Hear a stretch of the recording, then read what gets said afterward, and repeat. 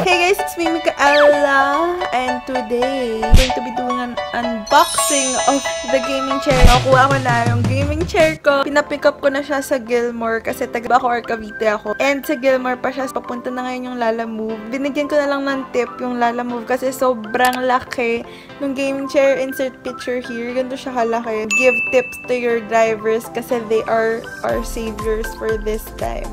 So, So, this is just gonna be a mini video para lang sa update. Nakahiga pa ako kasi inaantok pa ako and waiting ako sa grades namin.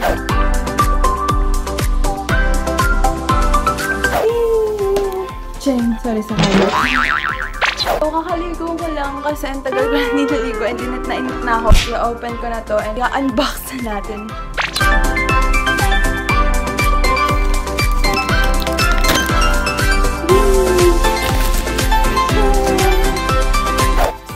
Siya kalaki. Ito ako. And ito. Yung mga laman, armrest. Oh my gosh, yung armrest. Sobrang well packaged niya. Ayan, may isa lang layer. Medyo madumi siya. I don't know why. Ang bigat niya.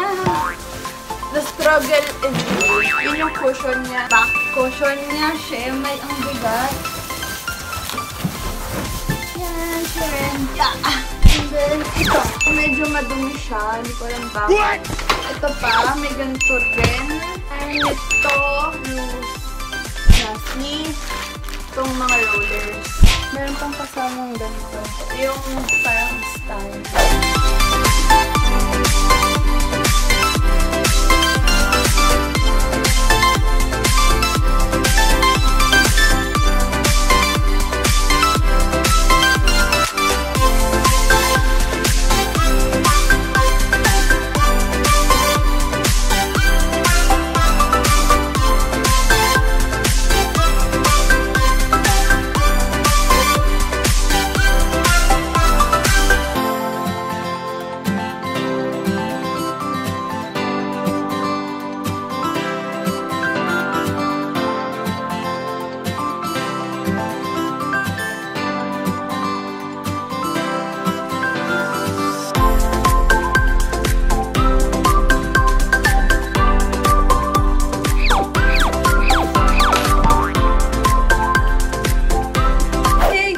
It's finally done!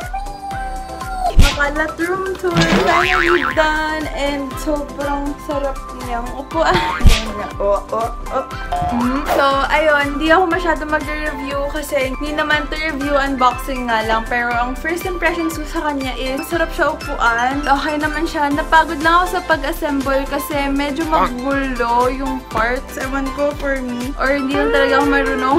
pero ayun, sobrang struggle yung time-lapse na yan. Mukha lang madali pero sobrang struggle talaga ako. I'm gonna update you guys sa mga ibang vlogs if ever. Hindi ko alam kung may binibili bang ganito or free lang talaga siya lagi. Pero I recommend it. Shoutout kay Kevin Puen and kay Ped Serrano Gomez. And shoutout din sa mama ni LJ!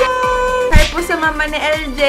If you guys like this short vlog, subscribe for more. Not for more gaming chair or gaming videos, but for more videos in general. so, and lang, buy watermelons, buy watermelons, buy watermelons.